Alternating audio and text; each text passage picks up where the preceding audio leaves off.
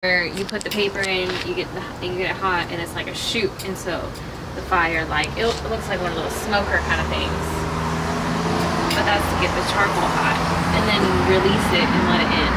But the other guy that I watched just built a fire around the charcoal, put paper and sticks, and then that Since I committed myself to caught the, the charcoal on before the end fire, and that's what worked the second time. Bucks to show my I didn't build why the I fire tried right the this first question video as And I kept replacement. trying to re like add to a fire that I had built wrong. After I built it right. It worked just fine. And I didn't Gerald have to Dunn, uh, this is what happens when the use any Discord light server fluid. tried to decide on an intro. So I I was spent really the about few to hours give up. scrolling through thousands like, oh my God, if I looking can't for the get most it common next questions time. to answer in this I'll have to video. call it I warned right now, some of the questions are silly, but I didn't ask them. You did. That being said, I am overall quite impressed by how kind, clever, and engaging you all are in the comments. I'm truly lucky to have such a fantastic audience. Now, let's get into the questions. First up, and something that you will just noticed, is the edit in this video from Jump Cut. Because the first question is, how much do you edit your videos?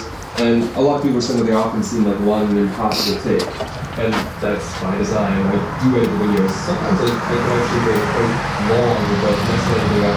Inevitably, something goes wrong. Usually cover up a video or a product or something, to make it feel better. I don't have a video to talk about how to make an audio phone noise, so as long as you cover up the drum.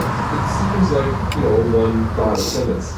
This also helped quite a bit by the second question, which is, what is that thing on the end of the lens, or do you use a teleprompter? Two separate questions that get asked a lot. Because yes, that thing on the end of the lens is a teleprompter. It is a Padcaster Parrot, and it comes with this little remote, and you can use it to, you know, play and pause. Uh, it's not the greatest because like some people like use foot pedals and different. I keep it here so someone just see me like reaching down in my crotch during That's all I'm doing is I'm going back up in this teleprompter when it looks appropriate. That's another question I get asked a lot. The questions like, why do you keep reaching down after you mess up? So I'm going back up in the teleprompter. Next question. Are you